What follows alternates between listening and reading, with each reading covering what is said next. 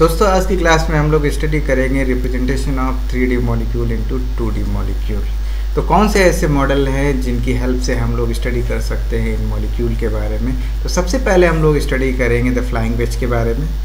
उसके बाद हम लोग स्टडी करेंगे फिशर के बारे में देन हम लोग sawhorse and the last one is the Newman projection चलिए दोस्तों देखते हैं फ्लाइंग वेज के बारे में। ये मॉडल ऐसा है जो कि केमिस्ट्री में ज़्यादातर यूज़ होता है।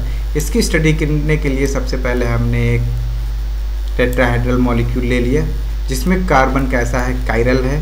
आप देख रहे हैं इसमें सारे एटम्स क्या हैं डिफरेंट या एटम और ग्रुप क्या हैं डिफरेंट जुड़े हुए हैं ए बी और सी एंड डी आप इसमें देख रहे हैं तीन तरीके के बॉन्ड आप बेटा देख रहे हैं, दो एक तरीके के हैं, जो आपको थिन दिख रहा है और एक आपको कैसा थिक दिख रहा है और एक आपको डैश दिख रहा है। तो इनका क्या मतलब है, इसके बारे में जानते हैं। जो आपके थिन बॉन्ड दिख रहे हैं ये आपके, जिनसे सी और डी अटैच्ड हैं, बेटा ये प्लेन के ऊपर है या ठीक है? प्लेन ऑफ़ द पेपर है। जो आपका ए ग्रुप जिससे अटैच है थिक लाइन या सॉलिड वेज ये रिप्रेजेंट कर रहा है, ये अब द प्लेन है। जो आपका जो है डैश्ड लाइन है, वो रिप्रेजेंट कर रहा है, ये आपका बिलो द प्लेन है। इसको समझने के लिए हमने यहाँ पर एक थ्री डी मॉलिक्यूल बेटा ले रखा है। ये मॉडल है बॉल स्टिक मॉडल इसको बोलते हैं।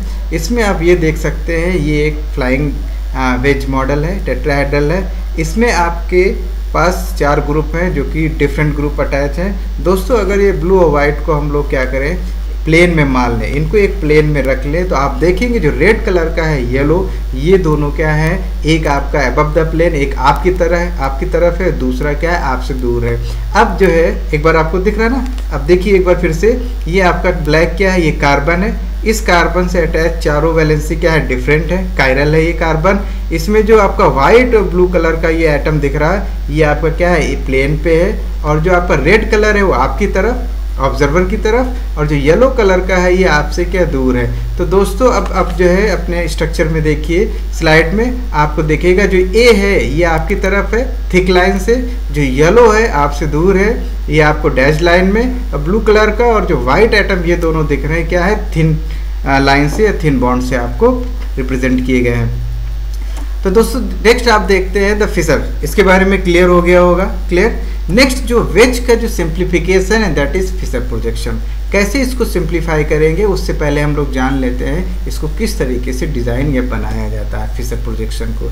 दोस्तों, ये आपका क्या है? एक क्रॉस है। आपको एक क्रॉस दिख रहा है। इसको रिप्रेजेंट करने का तरीका है, ये क्रॉस है। और जो मिड पॉइंट है जो मॉलिक्यूल हमने ले रखा है, उसके अकॉर्डिंग जो मिड पॉइंट है, ये कार्बन कैसा है? कायरल है। क्योंकि इससे जो चारों ग्रुप हैं, वो अटैच हैं, आपके कैसे है? डिफरेंट है। तो दोस्तों, ये वर्टिकल लाइन और हॉर्जेंटल लाइन ये क्या रिप्रेजेंट करती हैं? तो मैं आपको बता दूँ यहाँ पर, जो आपकी ये वर्टिकल लाइन है, ये वर्टिकल लाइन रिप्रेजेंट करती है अवे फ्रॉम द ऑब्जर्वर कि ऑब्जर्वर से दूर है। क्या? सी और डी ग्रुप ये क्या है? ऑब्जर्वर से दूर है। लेकिन जो हॉर्जेंटल लाइन है, ये रिप्रेजेंट कर रही ए बी जो एटम है, ये क्या है? ऑब्जर्वर की तरफ़ है। ठीक है?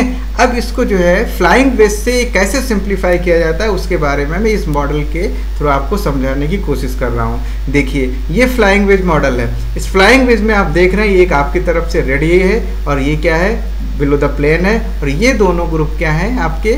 ये दोनों ग्रुप आपको दिख रहे हैं। ये दोनों ग्रुप कैसे हैं? ये प्लेन पे हैं। अगर आप क्या कीजिए, ये जो आपकी तरफ़ है और आपसे दूर है ठीक है, इन दोनों आपको एटम को पकड़िए, इस तरीके से कर दीजिए रोटेट कर दीजिए। तो अब आप देखेंगे जो हॉर्जेंटल लाइन पे ग्रुप हैं, ये आपकी तरफ़ है और जो वर्टिकल लाइन पे है, वो आपसे दूर है। तो यही फिशर प्रोजेक्शन है बेटा। अब देखिए जो जो आपका हॉरिजेंटल लाइन है ए और बी ये दोनों क्या है? आपकी साइड दिख रहा होगा इस मॉडल में। और जो आपका व्हाइट और ब्लू कलर के एटम है सी और डी वर्टिकल लाइन पे है और ये दोनों क्या है? आपसे दूर हैं। तो इस मॉडल में इस प्रोजेक्शन में एक बार फिर से देखिए जो वर्टिकल लाइन है ये जो आपकी वर्टिकल लाइन है ये आपकी क्या है? ऑब्जर्वर से दूर है अवे फ्रॉम द ऑब्जर्वर जो हॉर्जेंटल लाइन है ये क्या है? टुवर्ड्स द ऑब्जर्वर है। ठीक है? जो मिड पॉइंट है ये कार्बन को रिप्रेजेंट कर रहा है यहाँ पर ये कार, कार्बन कैसा है? कायरल है। इसको समझने के लिए हमने क्या किया? एक सिंपल मॉलिक्यूल लिया ग्लिसरल्डिहाइड दोस्तों जो लॉन्गेस्ट सेन है ठीक है? कार्बन की। सबसे पहले उसको हम लोग क्या करते हैं? वर्टिकल पे लेते हैं। वर्टिकल पे आपने ले लिया। सबसे पहले देखिए, जो टॉप मोस्ट पे आप कार्बन रखते हैं, वो प्रायोरिटी से रखते हैं। देखिए, सबसे पहले नंबरिंग किसकी होगी? सी एच की। तो आपने सी एच को सबसे पहले वाला कार्बन दे दिया। जो सबसे लास्ट कार्बन है, उसको आपने कहाँ रखा? बॉटम पे रखा।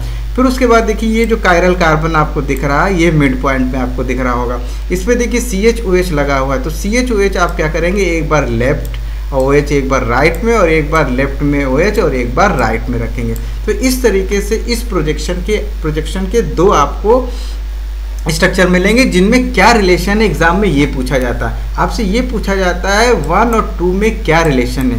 क्या ये दोनों इनानस्योमर हैं? क्या ये दोनों डायस्टूरियोमर हैं कि ये दोनों आइडेंटिकल हैं या इनमें से कुछ भी नहीं? तो इसके बारे में हम दोस्तों हम लोग डिस्कस करेंगे नेक्स्ट वीडियो में। नेक्स्ट एग्ज़ाम्पल हमने ले रखा है एलानीन के बारे में। एलानाइन ये अमीनो एसिड है, इसका स्ट्रक्चर कैसे हम लोग ड्रा करेंगे? अब देखिए, इसमें भी कायरल कार्बन है तो सबसे पहले लॉन्गेस्ट चेन देखिए, कौन सी है? ये लॉन्गेस्ट चेन है। तो लॉन्गेस्ट चेन आपको वर्टिकल पे रखना है रखना है। ठीक है, सबसे पहले आपने क्या किया? कार्बोक्सिलिक एसिड ठीक है? प्रायोरिटी में वन पे है। इसलिए सबसे पहले किसको रखा? कार्बोक्सिलिक एसिड को। फिर देखिए कायरल कार्बन ये इंटरसेक्शन पे है। और थर्ड पे आप देखिए, क्या है? सी एस थ्री है। ठीक है? अब लेफ़्ट साइड में सी एस से क्या अटैच है आपका? सी एस से सी से अटैच है एन टू और एच तो आपने एक बार क्या लेफ़्ट साइड में एस रखा राइट साइड में एन टू रख दिया। क्लियर उसके बाद आप देखिए कि इसको एक बार एन आप जो है लेफ़्ट साइड रख दीजिए और एक बार हाइड्रोजन को राइट साइड इस तरीके से दोनों ग्रुप आपके क्या हुए? दोनों प्रोजेक्शन आपके रेडी हो गए। दोस्तों, इसमें भी आपको याद रखना, इन दोनों में क्या रिलेशन है? इनानसियोमर है डायस्टोरियोमर या आइडेंटिकल ये सारे क्वेश्चन एग्ज़ाम में पूछे जाते हैं। दोस्तों, अगर जो ये सारी चीज़ें आपको समझ में आती हैं तो एक बार इसको सब्सक्राइब कीजिएगा, जिसमें थोड़ा सा मुझे कॉन्फिडेंस मिले और आपके लिए मैं और दूसरी भी वीडियो बनाऊँ।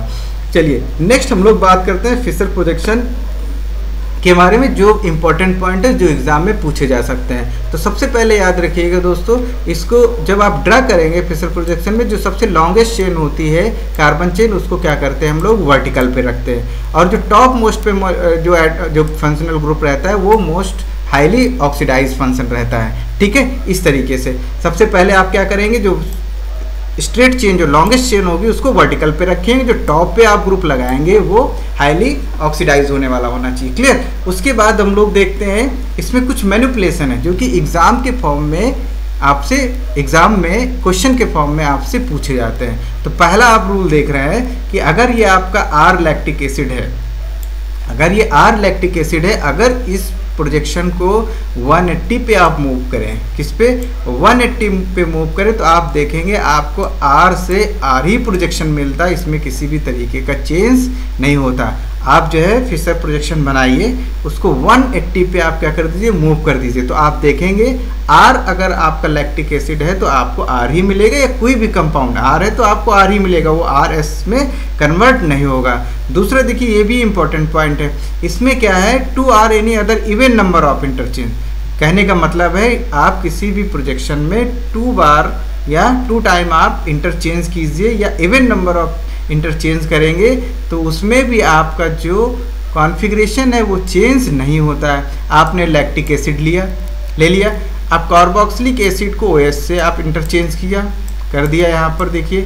फिर उसके बाद हाइड्रोजन को मिथाइल से इंटरचेंज कीजिए, किया, कर दिया। तो उसके बाद दूसरा इंटरचेंज कीजिए, देखिए सी एस थ्री को ये इससे हो गया। अब यहाँ पर देखेंगे, ये आर लैक्टिक एसिड था तो यहाँ पर भी क्या मिल गया आपको? आर लैक्टिक एसिड कहने का मतलब 180 बार रोटेशन 80 डिग्री पे rotation no changes two time interchange no changes third one आप देखिए वन और ऑड नंबर इंटरचेंज में आपका कॉन्फ़िगरेशन चेंज हो जाएगा. कैसे? आपने आर लैक्टिक एसिड ले रखा है. क्लियर आपने कार्बोक्सिलिक एसिड और ओ OH को आपने इंटरचेंज किया. तो देखो यहाँ आर से आपको क्या मिल गया? एस लैक्टिक एसिड मिल गया. क्लियर है? तो 180 डिग्री पे no changes two time no changes लेकिन वन टाइम चेंज करने पर आपका कॉन्फ़िगरेशन क्या होगा? चेंज होगा। दोस्तों नेक्स्ट भी इंपॉर्टेंट है। अगर आपने किसी आर प्रोजेक्शन का लिया है, अगर इसको 90 डिग्री पे क्या करते हैं? रोटेट करते हैं तो देखो ये एस में कन्वर्ट हो जाता है।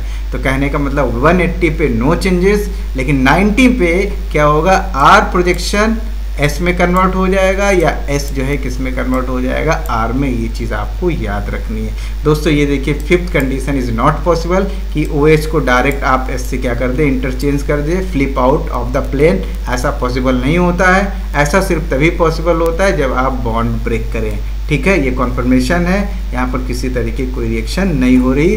तो ये देखिए, आप क्या कर सकते हैं, बस इतना कर सकते हैं, एक ग्रुप को आप पकड़ लीजिए और दूसरों को रोटेट कर दीजिए। इस तरीके से इंटरचेंज आप कर सकते हैं। क्लियर हुआ आपको फिशर प्रोजेक्शन ठीक है। नेक्स्ट आपका सहार्स और परस्पेक्टिव फार्मूला ठीक है, इसमें बेटा देखेंगे, जो दो एडजेसेंट कार्बन है, दोनों डायगनल जो डायगनल पे क्या रहते हैं सिचुएटेड रहते हैं। अब देखिए यहाँ पर एक डायगनल है ये दोनों एडसेंट कार्बन है ये दोनों क्या है डा, ये डायगनल से सेपरेट है। अब इस कार्बन पे जो लाइगेंड ये ग्रुप लगे हुए हैं और इस पे भी क्या है जो ग्रुप लगे हुए हैं। तो आप देखेंगे लेफ़्ट साइड जो बॉटम पे है वो नियरेस्ट टू द ऑब्जर्वर है। किधर है? ऑब्जर्वर के पास है। लेकिन राइट साइड में जो टॉप पे है, वो अवे फ्रॉम द ऑब्जर्वर ये याद रखना है आपको। ठीक है? इसमें भी आप स्टैगर्ड और एक्लिस्ट फॉर्म में देखेंगे। तो देखिए, ये जो हाइड्रोजन है, इससे जस्ट अपोजिट है 180 डिग्री पे लगा हुआ है तो ये आपका कौन सा होगा? स्टैगर्ड फॉर्म होगा, और इसमें आप देखिए, ये हाइड्रोजन जो है जस्ट इसके जस्ट बिहाइंड है। तो ये ये इस तरीके से बेटा, याद रखना। तो ये आपके क्या हो गया, ज़ीरो डिग्री पे है तो एक्लिस्ट फॉर्म में होगा। तो हॉर्स का परस्पेक्टिव फार्मूला क्लियर नेक्स्ट आपका आता है न्यू मॉन प्रोजेक्शन देखो दोस्तों, इसको समझने के लिए आपको ये समझना है, ये अलोंग द एक्सिस होता है। ये देखिए, ये आपका एक्सिस है, मान लेता है, ये लाइन आपकी है तो ये आपको दिख रहा है, ठीक है? ये जो पॉइंट है, ये आपका क्या है फ्रंट पे है और ये क्या है बैक साइड में। इसी तरीके से न्यूमॉन प्रोजेक्शन है। ठीक है? अब देखिए, यहाँ पर जो आपको पॉइंट दिख रहा है, ये जो पॉइंट दिख रहा है, ये फ्रंट पे है। फ्रंट कार्बन इसके जस्ट बिहाइंड क्या है? आपका बैक कार्बन है। इसके लिए थ्री मैंने बना के रखा है। ये देखिए, दिख रहा है। ये न्यू मॉन प्रोजेक्शन है, मान लेते हैं। ठीक है, ये सर्किल है। ठीक है? अब देखिए, इस सर्किल पे ये कार्बन है, ये बैक तो आपको बैक वाला तो दिखेगा नहीं। ठीक है? तो फ्रंट आपको दिख रहा है। तो दोस्तों देखिए, ये हाइड्रोजन ये हाइड्रोजन दोनों क्या है? आपके ज़ीरो डिग्री पे है। तो ये आपका क्या होगा? देखिए, इसमें दूसरा स्ट्रक्चर ये आपको इक्लिस्ट फॉर्म देगा। और अगर इसको हम रोटेट कर दे 60 डिग्री पे, ये सारे हाइड्रोजन इथेन का है। ये रेड और ये आपका जो, ये ब्लू कलर का ये है, ये इसलिए लगा जिसमें आपको दिखे, ठीक है? अगर जिसको 60 या 180 पे क्या कर दें, आप रोटेट कर दीजिए इस तरीके से तो ये आपका क्या हो गया? स्टैगर्ड फॉर्म हो गया। क्लियर है? तो न्यू मॉन प्रोजेक्शन में आपको देखना है।